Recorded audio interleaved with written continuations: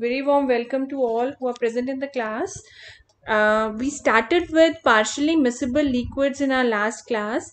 हमने बात की लिक्विड एंड लिक्विड सॉल्यूशंस की लिक्विड एंड लिक्विड सॉल्यूशंस तीन तरह के होते हैं फ़र्स्ट होते हैं मिसिबल लिक्विड्स और मिसिबल सॉल्यूशंस और मिसिबल सिस्टम्स जिनको हम बाइनरी सिस्टम्स भी कहते हैं जो हर प्रोपोर्शन में एक दूसरे में मिक्स हो जाते हैं we started with the second type of systems that are called the partially miscible systems जो एक particular concentration में एक particular proportion में एक दूसरे में जाते हैं at any other proportion उस proportion को छोड़कर कोई भी और आप proportion की बात करोगे तो they are immiscible liquids ठीक है बच्चे so in partially miscible liquids they are also called the conjugate liquids इनमें दो टर्म्स इंपॉर्टेंट हो जाती है, एक miscibility temperature and second is your miscibility curve और द फेस डायग्राम और the phase solubility diagram we discussed it in our last class miscibility temperature वो temperature है at which two conjugate solution are mutually soluble जिस temperature पे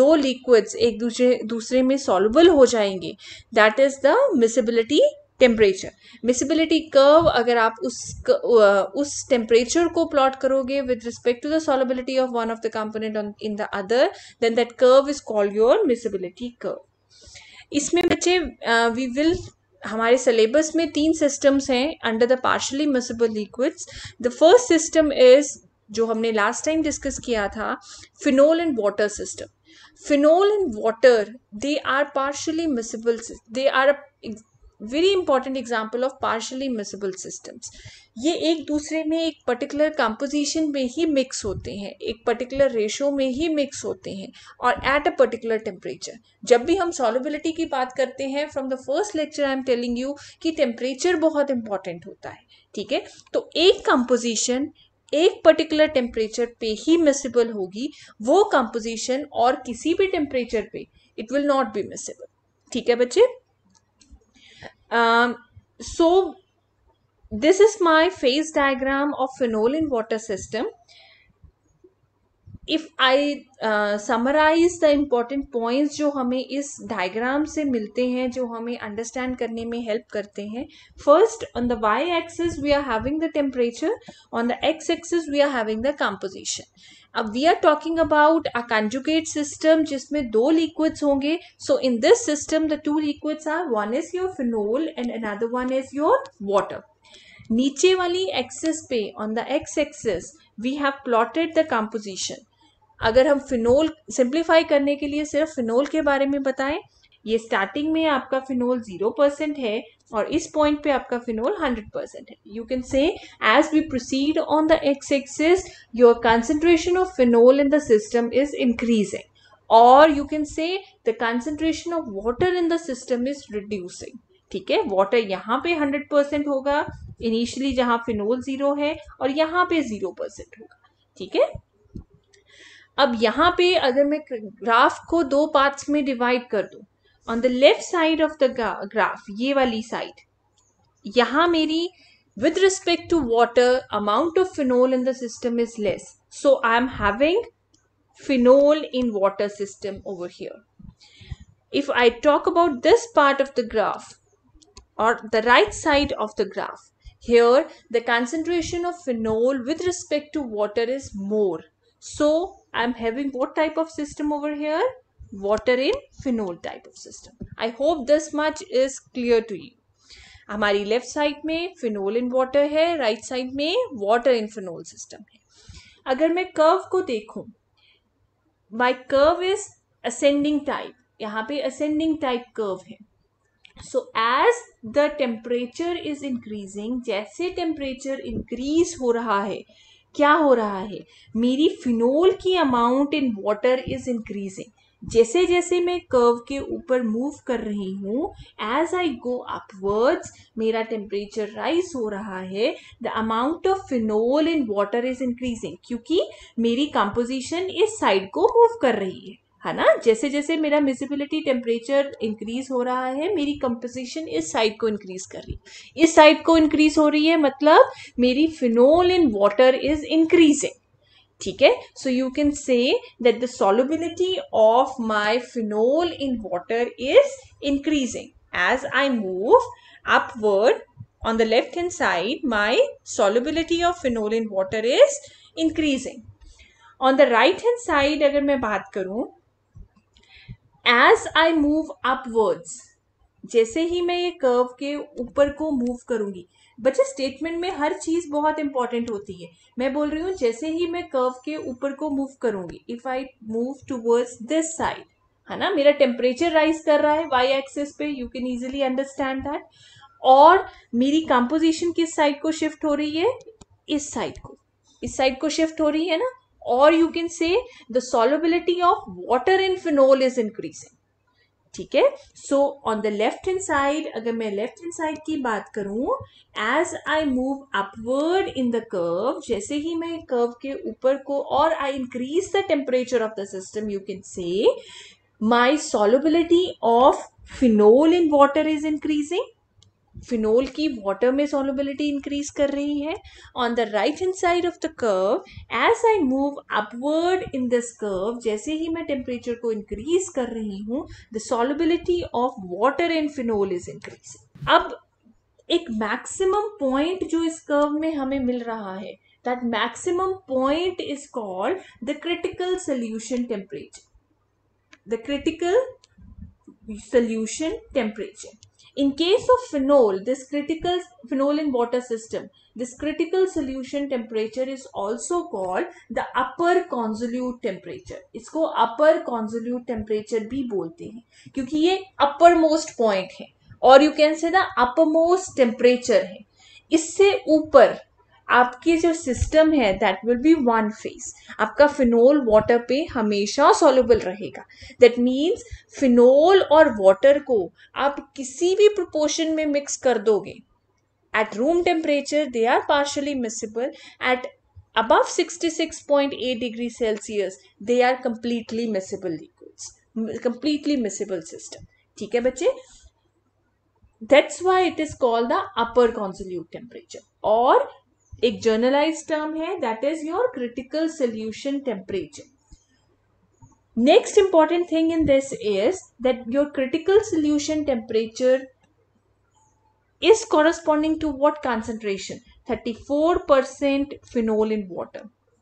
34% weight by weight phenol in water की जो concentration है, जो composition है, उसके कॉरेस्पॉन्डिंग जो आपका क्रिटिकल सोल्यूशन टेम्परेचर आता है in phenol in water systems ठीक है बच्चे?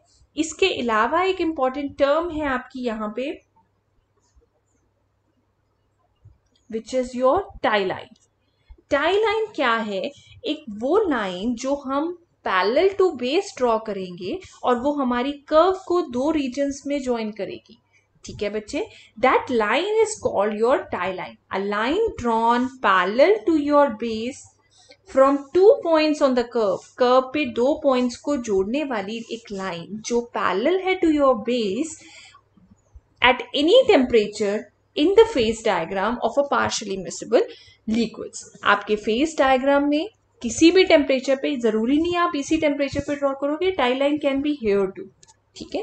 कर्व को एक पर्टिकुलर टेम्परेचर पे जो ज्वाइन कर रही है line that is your tie line and that has to be parallel to your base importance क्या है इस टाई लाइन की? जितने भी कंपोजिशन इस लाइन पे होंगी, जितनी भी कंपोजिशंस इस लाइन पे होंगी except the composition on your curve except ये वाली कंपोजिशन को छोड़ के, वो सारी टू फेस्ड होंगी।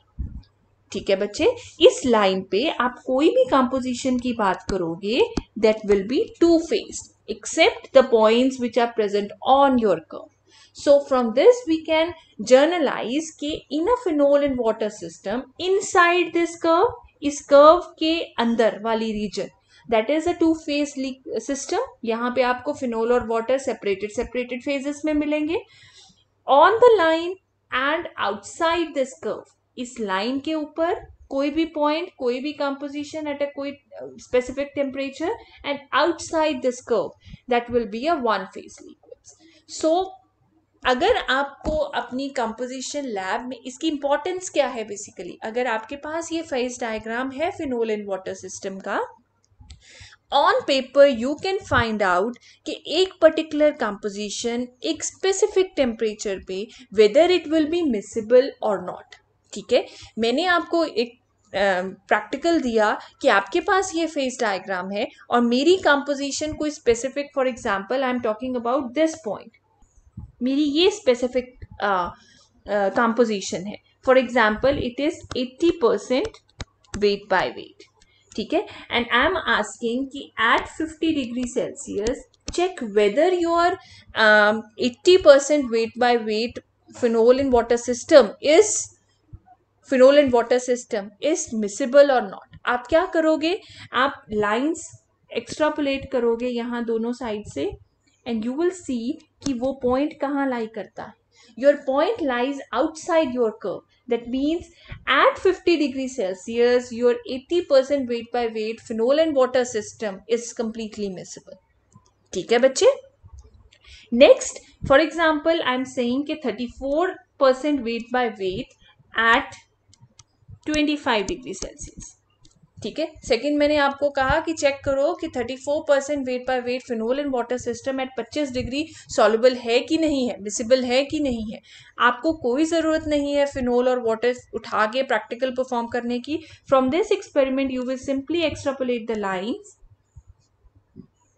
you will simply extrapolate the lines and you will see कि वो पॉइंट मेरा कहाँ पे इंटरसेक्ट करता है। अगर वो मेरा point inside the curve है then I will have a two phase system outside the curve I will have a one phase system I hope this system is now clear to you second example is बच्चे your triethylamine and water system पहली example हमने की थी phenol and water की. अब second है हमारी triethylamine and water system triethylamine and water का जो कर्व है, वो फिनोल एंड वाटर से बिल्कुल ऑपोजिट है. ठीक है? You can see from this curve too अगर मैं सेम उसी तरह से इसको भी स्टडी करने की कोशिश करूँ on the y axis I am having a temperature on the x axis I am having composition और percentage weight by weight of triethylamine मतलब इस पॉइंट पे मेरी, इस पॉइंट पे मेरी concentration of triethylamine is zero at this point the concentration of triethylamine is hundred percent और you can say it is increasing as I move on the x axis or the concentration of my water in my system is decreasing as I move on my x-axis. Similar to what you have in phenol in water system. Second, if I divide the curve into two, the left side of the curve will go opposite here. उसमें मेरा increase हो रहा था upward curve था, यहाँ मेरा downward curve है। वहाँ मैंने क्या इंटरप्रेट किया था कि as I increase the temperature मेरी solubility of triethylamine in water is increasing obviously मेरा कर्व ऑपोजिट है दैट मीन्स यहाँ पे स्टेटमेंट उससे ऑपोजिट होगी। अब कैसे होगी? If I talk about the left side of this curve अगर मैं left side of this curve के बारे में बात करूँ, इस कर्व के बारे में। यहाँ I am having triethylamine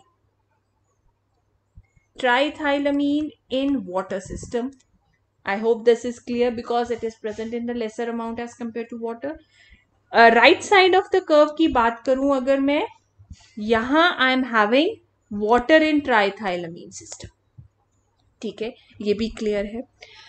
अगर मैं टेम्परेचर को इंक्रीज कर रही हूँ, और if I move along this curve इस कर्व के अलोंग मूव कर रही हूँ, इस कर्व पे जब मूव करूँगी अपवर्ड तभी मेरा टेम्परेचर इंक्रीज कर रहा है है ना?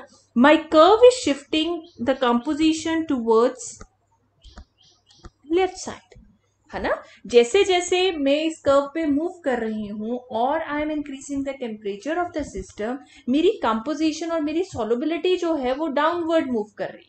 So that means for triethylamine and water system on the left hand side I can say as I increase the temperature जैसे ही मैं temperature को increase कर रही हूँ मेरी solubility of triethylamine in water is reducing ठीक है बच्चे on the right hand side of the curve as I increase the temperature similarly जैसे ही मैं टेम्परेचर को इंक्रीज कर रही हूँ और इस कर्व के अलोंग मूव कर रही हूँ। मेरी कंपोजिशन इस तरफ़ को मूव कर रही है। It is moving towards this side or you can say, as I increase the temperature, the solubility of water in triethylamine is reducing. क्योंकि जैसे जैसे मैं इस साइड को मूव कर रही हूँ, मेरा 100% परसेंट ट्राइथाइलमीन अप्रोच हो रहा है एंड वाटर साइमल्टेनियसली रिड्यूस हो रहा है। So on the left hand side as I increase the temperature, the solubility of triethylamine in water is reducing. On the right hand side, as I increase the temperature, solubility of water in triethylamine is reducing. ठीक है बच्चे I hope this much is clear next जैसे phenol and water system में हमने बात की थी inside the curve I am having a two phase system inside the curve I am having a two phase system outside the curve i'm having a one phase system. Similar to what we have in phenol in water system. Next uh, for triethylamine and water system the critical solution temperature is 18.5 the critical solution temperature is 18.5 and it is also called the lower consolute temperature क्यों? क्योंकि ये lower most point है। इस point से, इस temperature से नीचे आप जितना भी टेम्परेचर ले जाओ, आपको हर प्रोपोर्शन में triethylamine and water is soluble जैसे फिनोल इन वाटर के केस में 66.8 से ऊपर जितना मर्ज़ी टेम्परेचर ले जाओ, आपका सिस्टम विजिबल होगा हर प्रोपोर्शन पे। उसी तरह से इसमें ट्राइथाइलमीन वाटर में below 18.5 that's why it is called the lower consolute temperature ठीक है बच्चे? जर्नल टर्म है critical solution temperature depending upon whether it is upper और lower it can be called upper consolute and lower consolute temperature next example है बच्चे आपकी nicotine and water system की।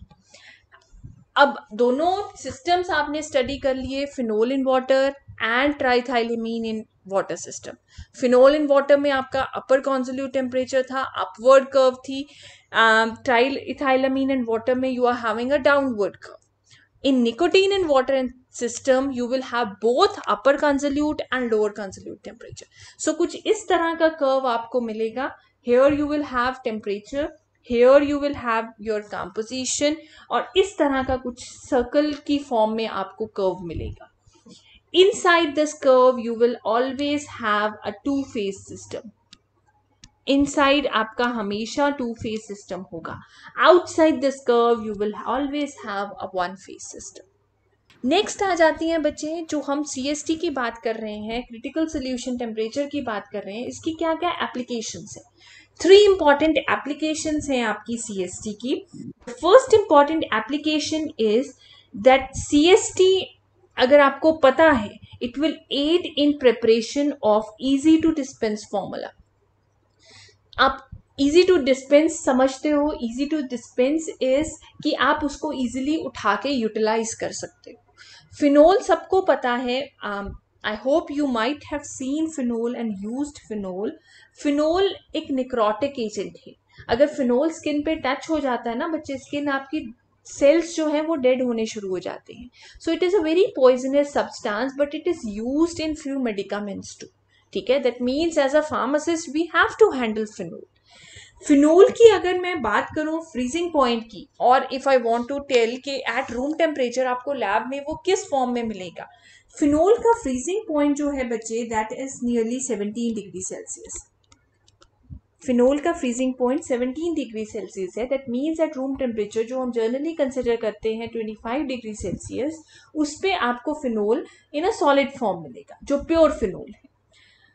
Being necrotic being toxic being harmful to handle है ना it is not very much preferred कि हम solid को वे करके यूज़ करें किसी भी प्रिपरेशन में so instead of that uh, using CST or the phase diagram of the phenol, it was found कि जो 80% weight by weight solution है that means 80 gram of phenol को अगर मैं uh, 20 ग्राम ऑफ़ वाटर में mix कर देती हूँ at room temperature that means at 25 degree Celsius my system is miscible. Miscible system है that means at room temperature it will be found in the form of liquid mixture. ठीक है?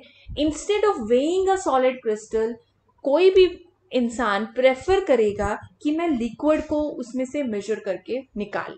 Second example है बच्चे, और second application है आपकी to check the purity of the substance मैंने आपको स्टार्टिंग में ही कहा सी एस टी और द क्रिटिकल सोल्यूशन टेम्परेचर अगर आपका सब्सटेंस प्योर है if you have a pure water and a pure phenol तो CST phenol in water system का हमेशा 66.8 degree Celsius at 34 percent weight by weight solution होगा।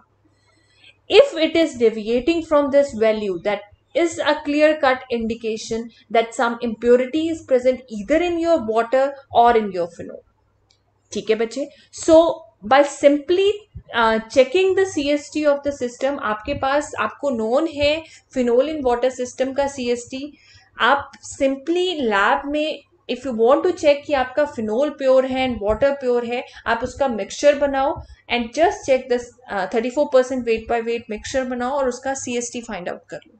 अगर वो सिक्सटी सिक्स पॉइंट एट आ रहा है it is a clear indication कि आपका फिनोल एंड वाटर जो है वो प्योर है। अगर वो डेविएट कर रहा है that means some type of impurity is present इसमें एक सिंपल एग्ज़ाम्पल आ जाती है if you add sodium chloride into your phenol in water system phenol in water system में अगर आप सोडियम क्लोराइड ऐड करते हो ना बच्चे it will increase your C S T वो सी एस टी को इंक्रीज कर देती है फिनोल इन वाटर मतलब C S T sixty six point eight ना रह के कुछ और होगा। ठीक है बच्चे? Third application is CST, which is an extension of what I have said in my second application, you can utilize your CST to determine the percent composition of the added component in the conjugate system. Second application में आपने कहा कि if some impurity for example N is present in your phenol in water system आपको पता चल जाएगा by simply checking the C S T that some impurity is present This is somewhat qualitative qualitative एक तरह से आपको indication हो जाएगी कि आपकी फिनोल और वाटर की क्या quality if you want to go ahead move ahead in your estimation, in your analysis, you can also find out कि किस क्वांटिटी में वो impurity present है। Just by using your CST इसको explain करने के लिए I have drawn one curve over here हम एग्ज़ाम्पल ले रहे हैं यहाँ पे sodium chloride as an impurity और the foreign substance in your phenol in water system phenol in water system में क्या करूँगी? आई होप आपको एक टर्म क्लियर है which is called the calibration curve calibration curve अगर नहीं क्लियर तो please pay attention because with this example, you will let I will let you know that what this calibration curve is क्या होता है बच्चे? uh, हम क्या करेंगे? हम fifty percent in the first step what I will do I will take fifty percent weight by weight phenol in water solution मतलब मैं फिफ्टी ग्राम ऑफ़ फिनोल को मिक्स कर लूँगी फिफ्टी ग्राम ऑफ़ वाटर के साथ और जो mixture है उसका मैं C S T find out कर लूँगी। For example, this is the CST of my 50% weight by weight phenol in water system. What I will do, I will prepare known concentrations of sodium chloride. Sodium chloride की non concentration बनाऊंगी for example मैंने point one solution बना लिया sodium chloride का percentage मैंने point two बना लिया point five बना लिया और वन परसेंट सोल्यूशन बना लिया Sodium chloride का इम्प्योरिटी का। इम्प्योरिटी का नॉन कंसेंट्रेशन का सोल्यूशन बना दिया। ये मेरा सोडियम क्लोराइड का सोल्यूशन है। ठीक है बच्चे? इन सोल्यूशन को मैंने क्या किया? 50 परसेंट वेट बाय वेट में एक एक करके डालना शुरू कर दिया। First what I did I added one percent weight by weight sodium chloride into 50 percent weight by weight phenol in water system what I did इस मिक्सचर का मैंने C S T find out किया और इस curve में plot किया। I know कि as I add sodium chloride to my phenol in water mixture my C S T will increase तो मेरी ये रेटिंग आ गई। नेक्स्ट मैंने टू परसेंट लिया स्टैंडर्ड जो मेरा नॉन कंसेंट्रेशन थी सोडियम फ्लोराइड की, उसको fifty percent weight by weight phenol in water system में डाला, उसका C S T find out किया, मुझे इस तरह की वैल्यू मिल गई। नेक्स्ट मैंने क्या किया? नेक्स्ट स्टैंडर्ड सोल्यूशन उठाया सोडियम क्लोराइड का। उसको 50 percent weight by weight phenol in water system में डाला and I got this type of value. Similarly, I got the value for 1%. ठीक है? मुझे क्या मिल गया? मुझे एक कर्व मिल गया। एक लीनियर कर्व मिल गया। जिसमें मेरी y एक्सिस पे है मेरा सी एस टी ठीक है? एक्स एक्सेस पे है मेरा percentage weight by weight composition of sodium chloride water because I have prepared standard concentration of sodium chloride and I have found out the C S T with respect to that standard condition now comes the practical form मुझे एक sample मिलता है जिसमें मुझे नहीं पता कि sodium chloride की क्या कंपोजिशन है. वॉट आई नो इज़ कि उस सोल्यूशन में फिनोल इन वाटर के सोल्यूशन में fifty percent phenol in water solution है। मेरी um, जो आप क्या कहते हो इम्प्योरिटी प्रेजेंट है दैट इज़ सोडियम क्लोराइड मुझे सिर्फ़ इतना पता है कि उसमें impurity sodium chloride I am assigned a task कि find out the concentration of sodium chloride in this system मैं क्या करूँगी? मैं सिंपली उस सैंपल को उठाऊँगी और उसका C S T find out करूँगी। ठीक है? मेरा सी एस टी समवर्ट यहाँ पे आता है। उसकी वैल्यू यहाँ पे आ गई। CST मैंने फाइंड आउट कर लिया। मुझे unknown sample of unknown sodium chloride concentration उसके corresponding on the X axis I can easily find out कि what is the concentration of sodium chloride in my sample क्या होती है बच्चे कैलिब्रेशन कर्व जहाँ आप एक प्रॉपर्टी को with respect to known concentration draw करते हो? That is your calibration curve उसको आप स्टैंडर्डाइजेशन कर्व भी बोल देते हो। नेक्स्ट आ जाती है बच्चे, हमने बात की फॉरेन सब्सटेंस अभी एग्ज़ाम्पल की हमने sodium sulph chloride we have added that in phenol in water system phenol in water system मेरा एक कंजुगेट सिस्टम है because it is a partially miscible system ठीक है? उसमें अगर मैं सोडियम क्लोराइड ऐड कर रही हूँ that sodium chloride forms the third component in that system क्योंकि एक कंपोनेंट मेरा फिनोल था सेकेंड कंपोनेंट मेरा वाटर है तो थर्ड कंपोनेंट क्या बन जाएगा मेरा? सोडियम क्लोराइड ठीक है? अगर मैं कोई भी फॉरेन सब्सटेंस ऐड करती हूँ into my conjugate system what I will get I will not get a two two system मतलब टू कंपोनेंट्स वाला सिस्टम ना I will have a three component system with for which I have a term I will call it a ternary system वो मेरा binary नहीं होगा, दो components का system नहीं होगा, वो मेरा थ्री कंपोनेंट सिस्टम होगा। थर्ड कंपोनेंट जो मैं ऐड कर रही हूँ, वो दो तरह से इन्फ्लुएंस कर सकता है मेरे पार्शली मिसेबल सोल्यूशंस की प्रॉपर्टीज़ को। ठीक है? इधर it can induce blending blending induce कर सकता है। ब्लेंडिंग का मतलब मेरा फिनोल एंड वाटर की सॉलिबिलिटी आपस में इंक्रीज हो रही। या तो addition of third component can increase the solubility second it can induce salting out और it can reduce the solubility phenol और वाटर की सॉलिबिलिटी को रिड्यूस कर देगा। अगर मैं कोई थर्ड कंपोनेंट ऐड करती हूँ अपने सिस्टम में any foreign substance it can either induce the blending और it can induce the salting out इसमें अगर मैं एग्जाम्पल्स को यूज़ करके आपको एक्सप्लेन करने की कोशिश करूँ any third substance any component which is having equal solubility in both phenol and water. कोई भी वो सब्सटेंस जिसकी सॉलिबिलिटी फिनो अगर मैं एग्जांपल फिनोल एंड वाटर की ही यहाँ पे लेती हूँ तो कोई भी थर्ड सब्सटेंस जिसकी सॉलिबिलिटी फिनोल एंड वाटर में इक्वल है मतलब वो फिनोल में भी उतना ही सॉलिबलाइज होता है जितना वाटर में होता है। For example here I have an example of succinic acid Succinic acid has equal preference for phenol and water.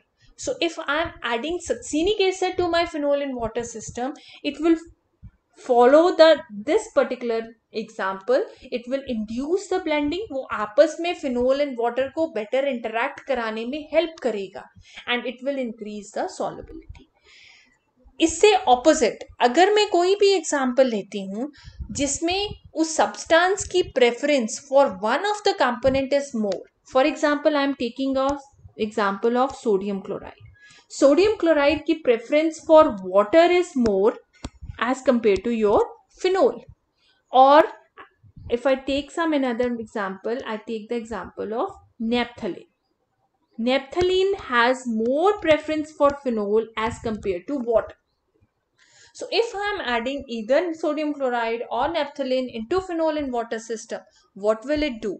It will induce the salting out.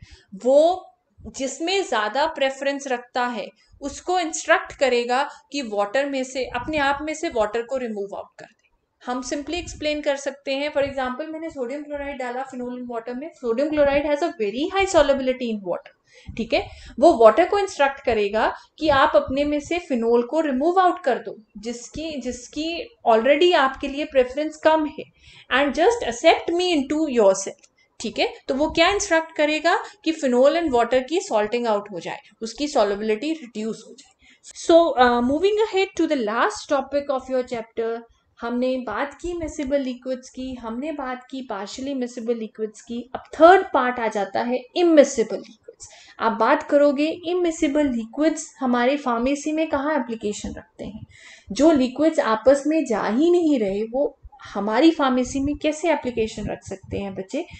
Immiscible liquids सबसे इंपॉर्टेंट एप्लीकेशन रखते हैं in the form of having us मतलब basically they empower us to find out distribution coefficient हमें help करता है immiscible liquids का system कि हम फाइंड आउट कर सकें पार्टीशन काफिशेंट और डिस्ट्रीब्यूशन काफिशेंट जिसको हम नर्न्स डिस्ट्रीब्यूशन काफिशेंट भी बोल कर देते हैं नर्न्स पार्टीशन काफिशेंट भी बोल देते हैं.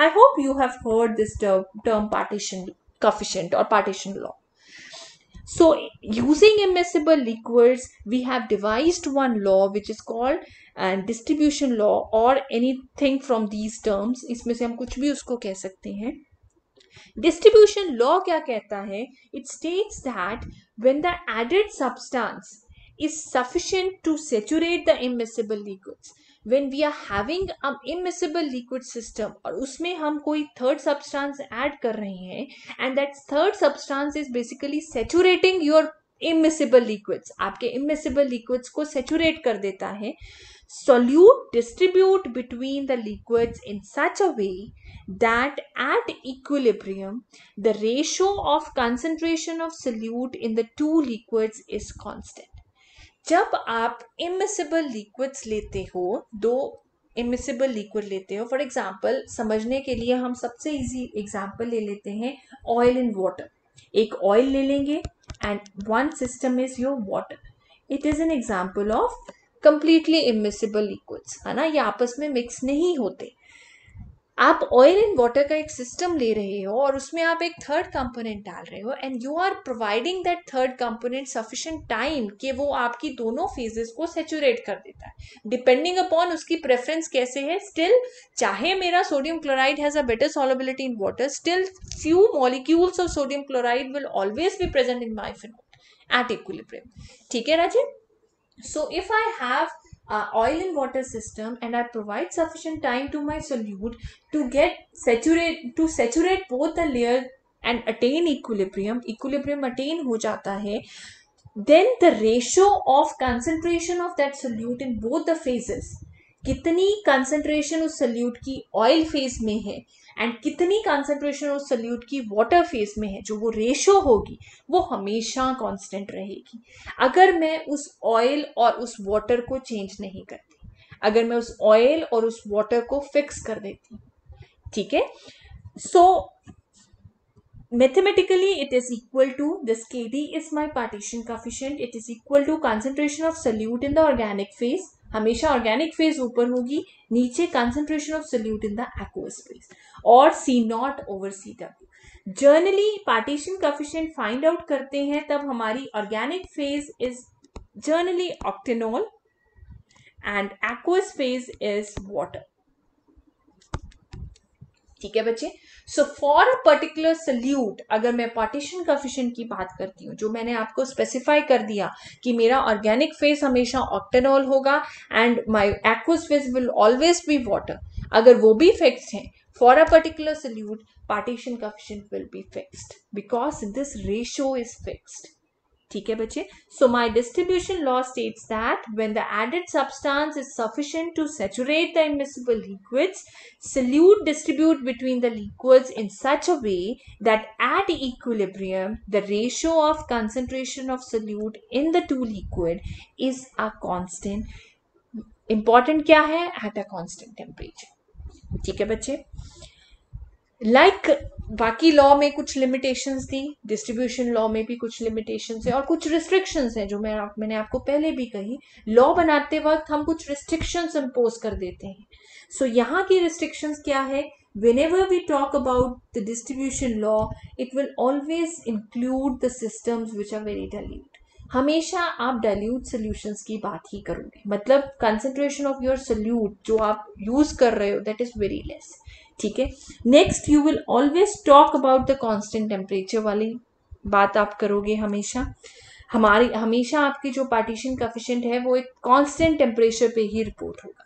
Next very important thing you have to ensure कि जिस सल्यूट के लिए आप पार्टीशन कफिशियंट फाइंड आउट कर रहे हो, वो सल्यूट सेम मॉलिकुलर स्टेट में एग्जिस्ट करता है both organic phase and your aqueous phase if the molecular state of your solute is changing in any of the phase then that partition coefficient is not giving the exact value और you can not report a partition coefficient for that system you have to either change your aqueous phase or your organic phase और आपको वो aqueous और organic phase लेनी पड़ेगी, जहाँ पे आपका सोल्यूट जो है वो मॉलिकुलर मॉलिकुलर लेवल पे मॉलिकुलर स्टेट उसकी सेम रहती है। Next you have to wait कि आपका जो सोल्यूट है वो इक्विलिब्रियम अटेन कर ले at that particular concentration next you have to ensure कि जो आप सिस्टम यूज़ कर रहे हो, वो कंप्लीटली इमिसिबल सिस्टम है। आप चेक कर रहे हो सोल्यूट की partitioning between organic phase and your aqueous phase you have to ensure कि आपकी ऑर्गेनिक और एक्वस फ़ेज़ आप, आपस में मिक्स नहीं हो रही। क्योंकि अगर वो मिक्स होनी शुरू हो जाएँगी तो जो आप पार्टिशनिंग रिपोर्ट करोगे, वो हाईली एरोनियस होगी, उसमें बहुत एरर्स होगी।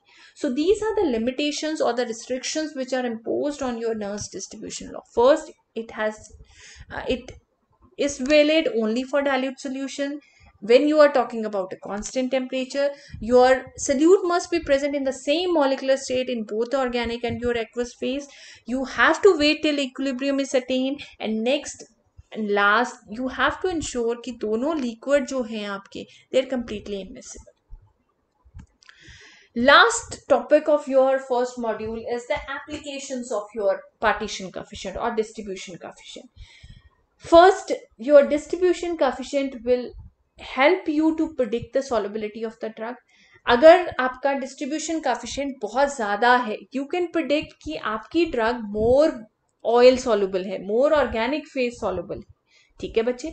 अगर आपका पार्टीशन काफिशियंट बहुत कम है यू कैन इजिली प्रिडिक्ट कि आपकी ड्रग ज़्यादा वाटर सॉल्युबल है। क्यों? क्योंकि पार्टीशन काफिशियंट के फॉर्मूला में ऊपर वाली in numerator you are having concentration in organic phase that means it is directly proportional to that in the denominator you are having concentration of your uh, in aqueous phase that means जितनी concentration aqueous phase में ज़्यादा होगी जितनी solubility ज़्यादा होगी उतनी partition coefficient कम होगी so you can predict the solubility of the drug second you can have a clear cut indication of the extraction of drug uh, you can predict कि how your drug will be extracted in your biological fluids.